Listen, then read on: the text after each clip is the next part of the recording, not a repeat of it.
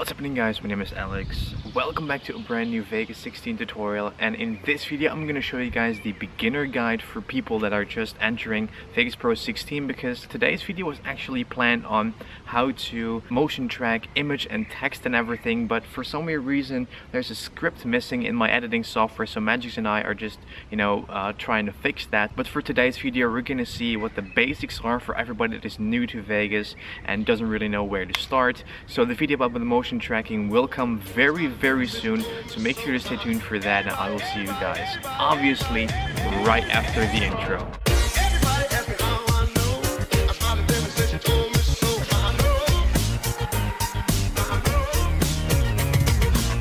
Okay, now that we are in Vegas Pro 16, I'm gonna explain the basics to everybody that is new in this software. So this program released at the end of August, a little over a week ago, and there are tons and tons of new features in this program. So for everybody that is already familiar with this program, uh, you can keep watching. Obviously, there are gonna be some things that you find useful. Make sure to keep watching even though if you already know the program. Okay, so as you can see, my also my face cam quality isn't too, uh, too great because I'm using my my webcam because my camera, my Canon G7X, this guy is giving tons of errors with the memory card, but I'll, that'll be fixed tomorrow. Okay, so we're gonna start off with the basics. If you want to start editing videos, um, what you need to do is you need to understand the interface. So right here we have the preview screen where you will see your video when you're playing it back. Right here you have the timeline and this is basically where you're gonna cut, where you're gonna add in the effects, everything like that.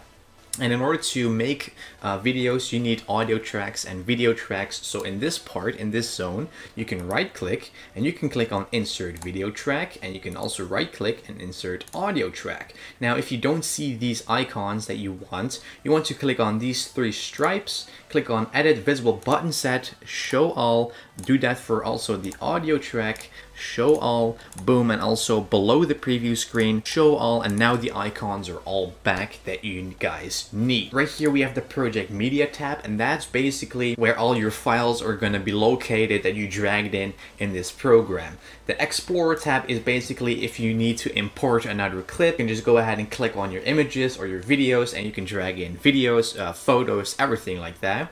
Right here we have the transitions tab, and this is basically if you have a scene and you want to you know, cut to another scene and you want to have a nice transition, everything can be found right here. They added tons of new ones, as you can see, and the options are endless. I want to mention that all the NewBlue ones are plugins that you need to install install externally, so they do not come with Vegas Pro. And that also counts for the S underscore and then these transitions. But all the other ones, like the page loop and at the bottom, you know, the slide, the you know, the split, squeeze, star wipe, swap, everything is standard in Vegas Pro. You just need to simply drag that on the clip and I'm going to show you guys how to do that in just a minute. Right here we have the video effects tab, so let's say that you want to brighten up your video because it's too dark. You can just go ahead and scroll down until you see the brightness and contrast right here and then you can just basically drag on all the filters that you need. And like I've mentioned as well, these BCC ones are also plugins that do not come with Vegas Pro and the same for these NewBlue ones. So the last tab that we have right here is media generator. So let's say that you want to overlay text on your video or like checkerboards or like, you know, how, how what, is it, what is it called? The, um, the end scrolls or the credits and everything. That can be found in the media generators tab. So if you scroll down, as you can see, we have solid colors. If you want to have an image that is uh, a specific color, you can find that here. The test pattern is basically these bars uh, that you can also import. Right here we have titles and text. We have the default one. You can drag that on and also the uh, text ones that are also also animated for you. Okay, so we're gonna start off by just editing in a really basic video. So we're gonna go to the project media tab and right here, as you can see, we have nothing in this box because we're gonna drag in a clip that we are going to use. Okay, so as you can see, I dragged in this clip and that is immediately listed at the top. So, and that also, you know, appears on our timeline. That's very obvious. Let's say that you want to cut in your videos, that you want to have this piece cut out. What you want to do is press S on your keyboard like that. Then you want to click right here, for example, press S again. And now this part is loose and you can move that or you can press delete. And then as you can see, you can place this guy to each other and that's how you basically cut in videos like that. As you can see. So that's how it works. The Explorer tab is basically, like I've mentioned, if you want to import clips, the transitions, let's say that you want to have a nice slide transition onto the next one. What you want to do is you want to drag this guy over until you see this crossfade. Then you can apply your transition on it, for example, this slide to the, to the left. If you drag that onto the transition, if you play it back, as you can see, it makes a nice transition to the next clip like that. You can also drag in other transitions on top of it. It will just replace it really simple and then they come in from the top as you can see.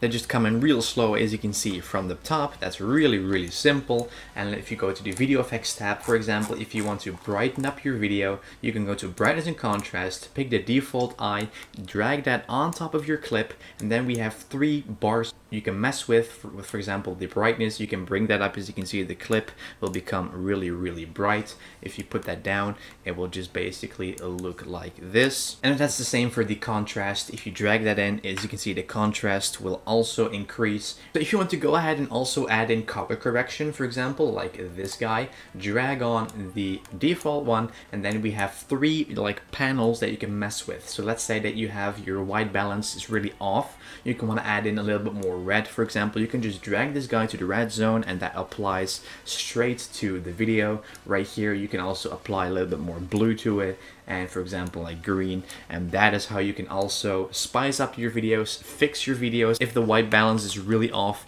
and that's really really simple how you can do that. Now in order to actually edit your videos what you can do is you need to also export these you know in order to have everything else that you edited into one file. So what you want to do is you go want to go ahead and hold your left mouse button and you want to select everything in your timeline that you want to render out. Then you want to click on file click on render as and then basically you want to choose your format do you want to have it 720p 1080p or even 4k so the best option for me, uh, and that also I think that counts for you, is Sony AVC MVC, that's just MP4. And if you click on there, we have internet 1920 by 1080 30p. And if you want to know how to render in 60 FPS, I will leave the link to the video, how to render your videos or the best render settings in general of Vegas Pro 16 in the description so you can find it right there. And that's basically how to do it. Right here, it is the folder, so you can just click on browse and then you can choose the location of your rendered file. And right here, it says name, for example, you can